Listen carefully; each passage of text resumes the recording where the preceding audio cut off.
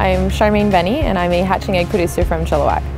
Today I was with the Minister of Agriculture and the Premier where they declared today as BC Agriculture Day through the Royal Proclamation and uh, essentially we are just celebrating agriculture here in BC and all the hard work of our farmers. I grew up on the hatching egg farm that I currently operate with my parents. I live on there with my two boys and uh, I love it and I can't see me doing anything else. What I feel is so great about BC is we have so much choice and it doesn't matter which grocery store you shop at, whether it's a farmer's market or a chain grocery store. We have local produce and products everywhere. I find it really awesome that my son can already recognize labels. He reads the signs and he's like, oh look mom, it's from Delta.